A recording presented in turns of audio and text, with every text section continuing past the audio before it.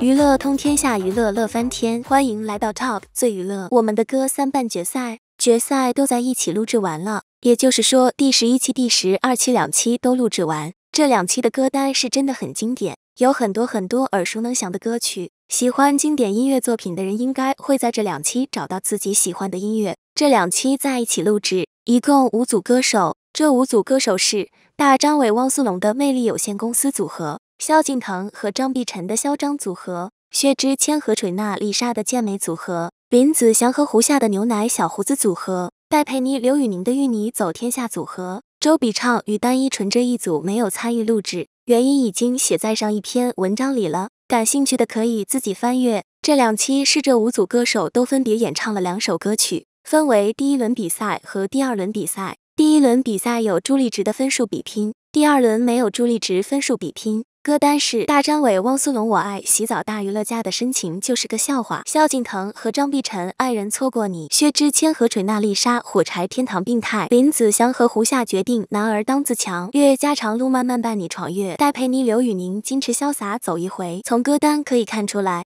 大张伟与汪苏泷组合选出来的歌曲和他们的气质是特别符合的。其他组的歌单基本都是经典之作，大张伟再次把有趣、搞怪、多元化搬上了我们的歌的舞台。第二首也是非常厉害的一首改编，汪苏泷有一首歌曲叫做《大娱乐家》，大张伟有一首歌曲叫做《我的深情就是个笑话》，最终合并为了一首歌曲。萧敬腾和张碧晨的歌曲《之一病态》，这首歌曲是薛之谦的作词的一首薛氏情歌，林子祥与胡夏唱的两首歌曲也都是林子祥原唱。这些歌曲中，男儿当自强，潇洒走一回，火柴天堂等都是经典之作。相信经过这三组的改编创作，一定会有新的元素加进去，可能再会产生我们的歌这个节目中的经典之作。五组歌手通过选歌就可以看出来是很用心的，尤其是林子祥、胡夏这一组选的歌曲，两首都是林子祥的歌曲。戴佩妮、刘宇宁选的两首歌曲都不是他们俩的歌曲，这也可以看出老前辈歌手代表作是真的多。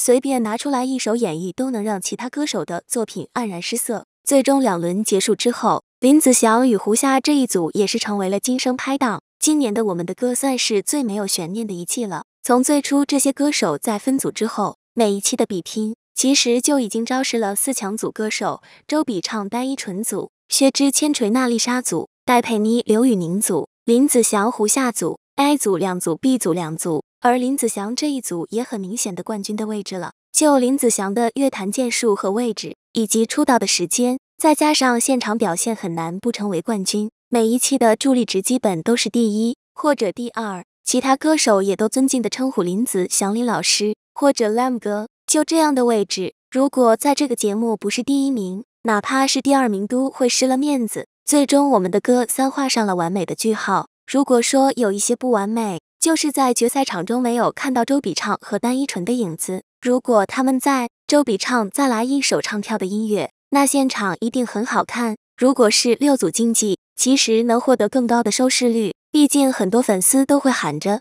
没有周笔畅我就不看了，没有单依纯就不看了。这样的人很多，所以最后两场的收视率是会更高还是会低？其实这是一个悬念。本期节目就先到这儿，咱们下期再见，拜拜。大家觉得还行的话，帮忙在头像旁边点个订阅，点个赞，支持一下吧，谢谢大家。